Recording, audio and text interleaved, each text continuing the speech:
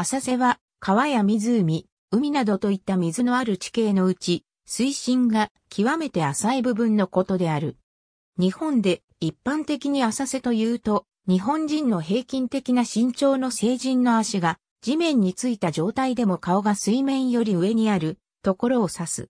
また船にとって浅瀬というと船の大きさにもよるが、船の下部が水底に接触するかしないかの運航が難しいエリアを言う。船が浅瀬に侵入すると身動きが取れなくなる。船が浅瀬や暗礁に乗り上げることを座礁するという。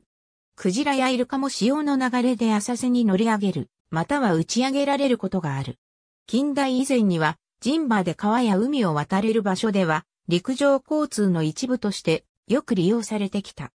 各地に海の浅瀬や砂スを道路として使っていたことを示す地名、川の浅瀬を渡る場所を示す川越、渡る、荒い越などの地名が残る。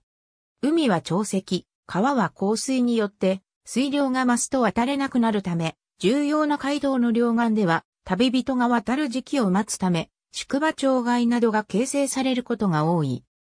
都市開発において、浅瀬は都合が良く、水深が浅い分、埋め立て地を造成するために必要な土砂や労力が比較的少なく済むため、費用も安上がりになる。